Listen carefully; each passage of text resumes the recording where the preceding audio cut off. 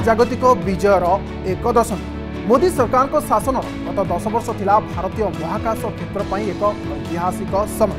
ସ୍ୱାଧୀନତା ପରେ ଭାରତକୁ ମହାକାଶ ରେସ୍ରେ ମିଳିଥିଲା ସବୁଠାରୁ ବଡ଼ ସଫଳତା ମାତ୍ର ଏହି ଦଶ ବର୍ଷ ମଧ୍ୟରେ।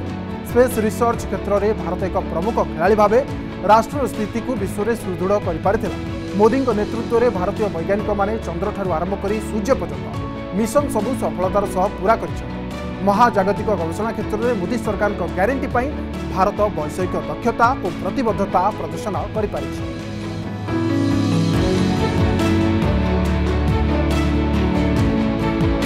ତେବେ ମୋଦି ଶାସନ ଭାରତର ମହାଜାଗତିକ ବିଜୟର ଏକ ଦଶନ୍ଧି ଆରମ୍ଭ ହୋଇଥିଲା ମିଶନ ଚନ୍ଦ୍ରଯାନର ସଫଳତା ଲଗାତାର ପ୍ରୟାସ ବଳରେ ଅଗଷ୍ଟ ଦୁଇହଜାର ତେଇଶ ମସିହା ଥିଲା ଚନ୍ଦ୍ରରେ ଯେଉଁଦିନ ପ୍ରଥମ ଥର ପହଞ୍ଚିଥିଲା ଭାରତ ଚନ୍ଦ୍ରର ଦକ୍ଷିଣ ମେରୁରେ ଅବତରଣ କରିବାରେ ଭାରତ ବିଶ୍ୱରେ ପ୍ରଥମ ଦେଶ ଭାବରେ ଇତିହାସ ରଚିଥିଲା ଏହି ସଫଳ ଟଚ୍ଡାଉନ୍ ବିଶ୍ୱରେ ଭାରତର ଆଧୁନିକ ବୈଷୟିକ ଦକ୍ଷତା ପ୍ରଦର୍ଶନ କରିଥିଲା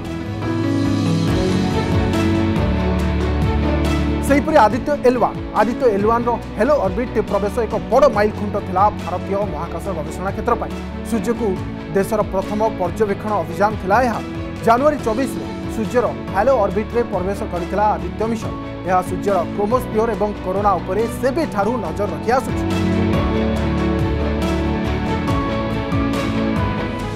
ସେହିପରି ଏକାଥରକରେ ମହାକାଶକୁ ପ୍ରେରଣ କରାଯାଇଥିଲା ଶହେ ଚାରୋଟି ଉପଗ୍ରହ ଯାହା ବିଶ୍ୱର ଏକ ରେକର୍ଡ ଥିଲା ଦୁଇହଜାର ସତରରେ ମହାକାଶକୁ ଏକାଥରକେ ଶହେ ଚାରୋଟି ଉପଗ୍ରହ ପ୍ରେରଣ କରି ସଫଳତା ହାସଲ କରିଥିଲା ଭାରତର ମହାକାଶ ବିଜ୍ଞାନ କେନ୍ଦ୍ର ଇସ୍ରୋ ଏଥିରେ ତିନୋଟି ଭାରତୀୟ ଉପଗ୍ରହ ଥିଲା ଏବଂ ବାକି ଶହେ ଏକଟି ବିଦେଶୀ ଉପଗ୍ରହ ରହିଥିଲା। ଗୋଟିଏ ଫ୍ଲାଇଟ୍ରେ ସର୍ବାଧିକ ସଇଁତିରିଶଟି ଉପଗ୍ରହ ପଠାଇବାର ରେକର୍ଡ ପୂର୍ବରୁ ରୁଷିଆ ନାଁରେ ଥିଲା ଯାହାକୁ ଭାରତ ସମ୍ପୂର୍ଣ୍ଣ ରୂପେ ଭାଙ୍ଗିଥିଲା ହେଲେ କହିପାରିବା ଆମେ ଗତ ଦଶ ବର୍ଷରେ ଭାରତ ଅନେକ ଥର ଏହି ରେକର୍ଡକୁ ଭାଙ୍ଗିଛି। ସେହିପରି ମିଶନ ଗଗନଯାନ ମହାକାଶ ବିଜ୍ଞାନ ଇତିହାସର ସବୁଠାରୁ ବଡ଼ ମିଶନ ହେଉଛି ଗଗନୟାନ ଗଗନୟାନ ଆରମ୍ଭ କରିବାକୁ ଯାଉଛି ଭାରତ। ଇସ୍ରୋ ଏହି ମିଶନ ପରୀକ୍ଷାମୂଳକ ଭାବେ ଆରମ୍ଭ କରିସାରିଛି ମଧ୍ୟ।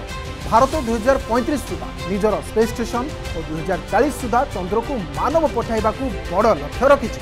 ଏହା ବ୍ୟତୀତ ଶୁକ୍ର ଏବଂ ମଙ୍ଗଳ ଗ୍ରହର ମିଶନ ମଧ୍ୟ ଆରମ୍ଭ କରିବାକୁ ଯାଉଛି ଇସ୍ରୋ।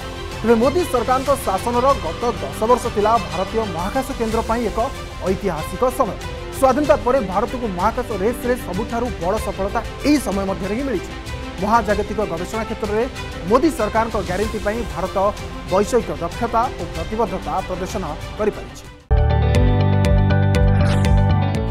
जदि आपंक आम भिडी भल लगा तेब आम चैनल को लाइक शेयर और सब्सक्राइब करने को जमा भी भूलु नहीं